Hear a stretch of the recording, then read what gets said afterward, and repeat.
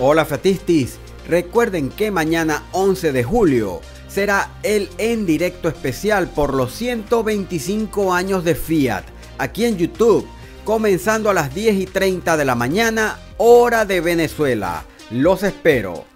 Estelantis confirma híbridos para todos en Europa y a la espera de los resultados globales de medio año, el grupo automotriz ha adelantado los números de Europa te invito a unirte al centro de notificaciones de Fiatisti en Telegram.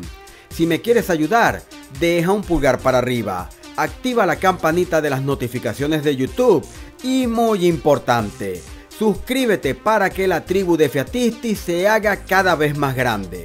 Ahora sí, entremos a los detalles.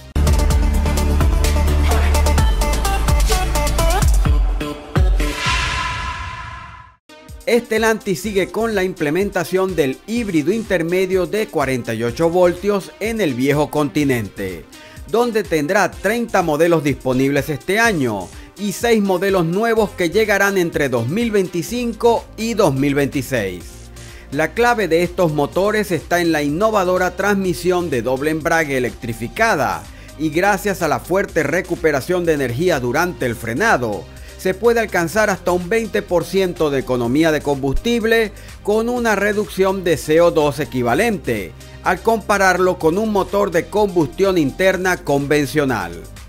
En lo que va del 2024, las ventas de los modelos híbridos se han incrementado en un 41% respecto al 2023 en la zona Euro 30 y se espera un aumento adicional con los nuevos lanzamientos.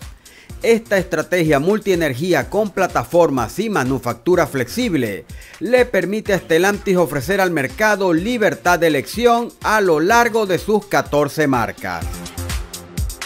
En la primera mitad de 2024, Stellantis ha podido crecer un 0.9% en Europa respecto al año pasado, con una participación del mercado del 18.2% en este caso en la zona Euro 29.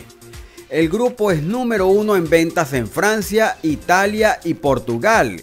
Y entre los crecimientos más destacados tenemos el 23.8% en Alemania, 1.1% en Italia, 0.3% en Polonia y 2.4% en Portugal.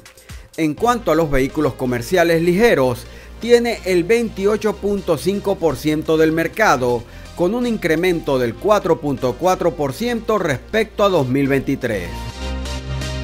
Mientras que en el segmento de los vehículos de bajas emisiones, Stellantis ha visto un incremento en las ventas, destacando que el grupo tiene ya el 13.3% del segmento de vehículos a batería eléctrica. Con estos números, Stellantis muestra resultados más positivos en Europa que los que ya hemos visto en Estados Unidos, pero eso sí, por muy poco. Estén pendientes de los resultados globales de Stellantis, que serán presentados el próximo 25 de julio y claro está, Fiatisti te traerá todos los detalles. Recuerden que mañana 11 de julio será el en directo especial por los 125 años de Fiat, aquí en YouTube, comenzando a las 10 y 30 de la mañana, hora de Venezuela. Los espero.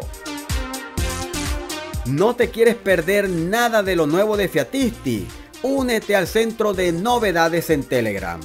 Si quieres apoyar este proyecto nacido en pandemia, deja un pulgar para arriba, suscríbete y activa la campanita de las notificaciones de YouTube, que todo ayuda. Sígueme en las redes sociales y como siempre, cuídense mucho que todos hacemos falta y nos vemos en la próxima entrega.